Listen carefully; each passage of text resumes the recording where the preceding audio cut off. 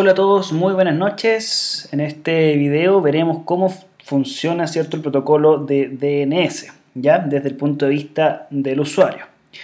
El protocolo de DNS, lo que ustedes deben saber es que es un protocolo que funciona sobre la capa de aplicación, tanto el modelo TCP/IP como el modelo OSI, y que este protocolo eh, funciona, cierto, de manera estándar por el puerto 53 UDP, ¿ya? Eh, vamos a ocupar una aplicación que se llama Wireshark, que es una aplicación que sirve para hacer un análisis de redes. Es un analizador de redes, ¿cierto? Va a permitir eh, ver qué paquetes están circulando a través de la red. Bien, vamos a comenzar. Voy a seleccionar mi interfaz, que es la. Estoy conectado por cable, ¿cierto? La Ethernet EN0. Y le voy a poner Start. Wow, hay muchas cosas transitando por aquí. Como ven, tengo una, un buen uso de mi red, ¿cierto? Voy a abrir un navegador y decir que vayamos a yahoo.com. Entonces veremos que la actividad aquí va a aumentar bastante, ¿cierto? Y un montón de, de consultas, sea una serie de masas. Veamos esto ya cargó, justamente ya cargó la página de Yahoo. Voy a cerrar el navegador para eliminar un poquito de tráfico y voy a detener esto. Eh, vamos, como ha sido muchos paquetes los que han pasado por este, por este, em, por esta sesión abierta, ¿cierto? Vamos a buscar dónde se realizó la consulta de DNS a través del puerto 53, que me parece mucho que para acá está. A ver, DNS Standard Query. No, esas son creo que hicieron después. Mm, debería estar. Supongo que debería estar por acá, o si no, más abajo.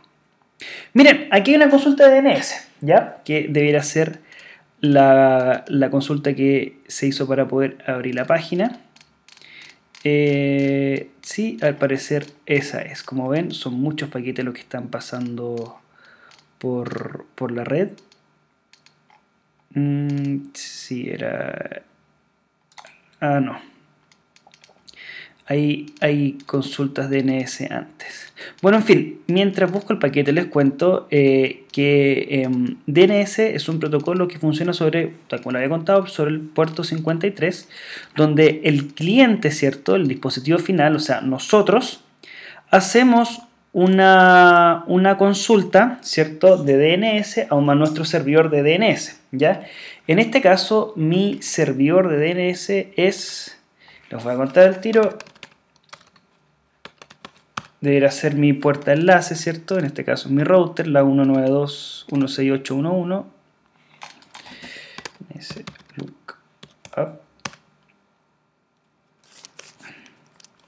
No, así no funciona aquí.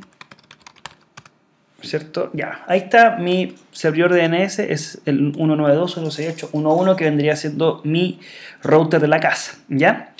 Eh, una vez, o sea, una vez de que se hace una consulta de DNS, ya que se le pregunta, ¿cierto?, al servidor DNS por X dirección, ¿cierto? En este caso por google.cl,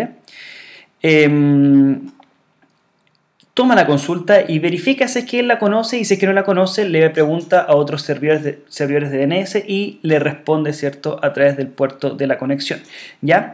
La, la consulta se hace al puerto 53 del, servidor, pero eh, se, le, responde por otro puerto que veremos aquí, ¿ya?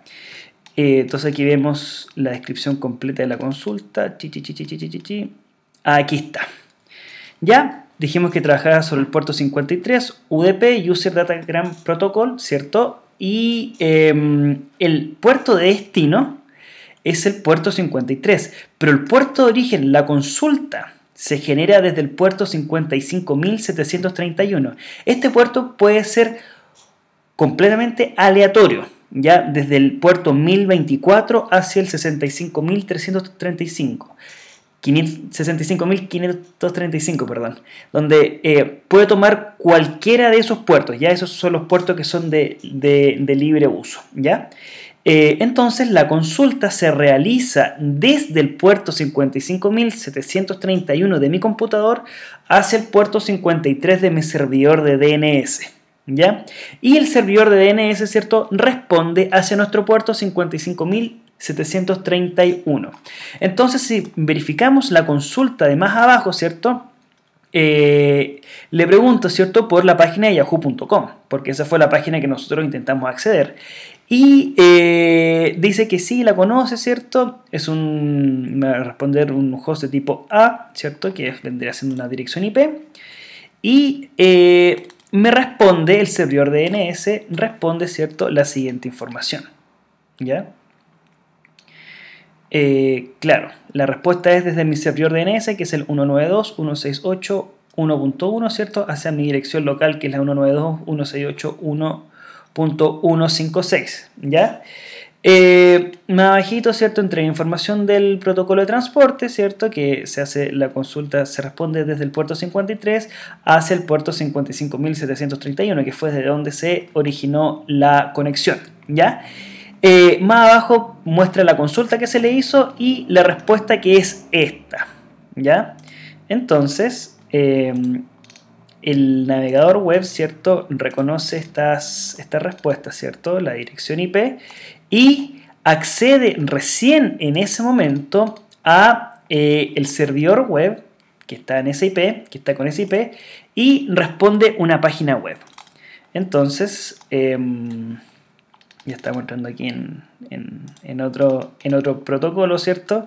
Donde se le realiza eh, una consulta, ¿cierto? Al puerto 80, que es el puerto web estándar, ¿cierto? El HTTP, ¿cierto? A través de ese puerto. O sea, desde mi computador, ¿cierto? A través del puerto 49703 se eh, conecta al servidor, al puerto 80, ¿cierto? Para que él le realice la respuesta a través de ahí, ¿ya?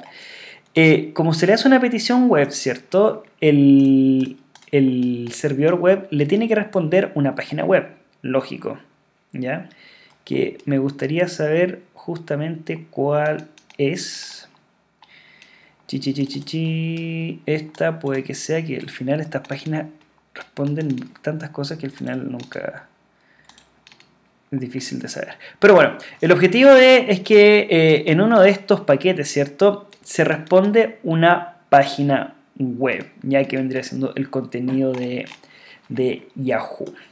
Bien, eh, es una temática que no es fácil de comprender, ¿cierto? Es algo que para darle, para darle mucha vuelta, especialmente a la gente que estudia carreras relacionadas con el área de redes. ¿ya? Em, bueno, eso. vimos el protocolo, eh, cómo funciona el protocolo DNS, ¿cierto? Cómo era la consulta, cómo era la, la, respuesta, ¿cierto? Y cómo a través de esa respuesta recién se consulta, ¿cierto? Al servidor web para que realice una, para que podamos ver la página en nuestro navegador.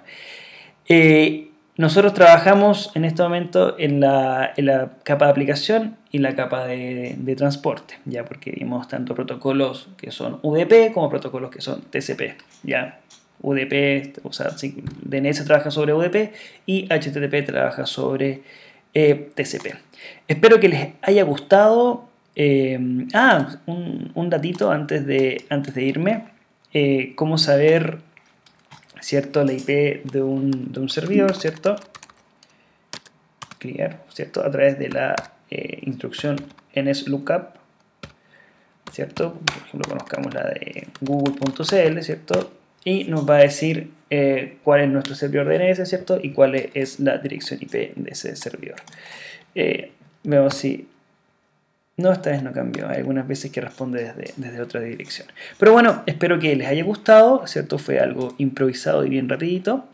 Y nos vemos hasta entonces. Chao,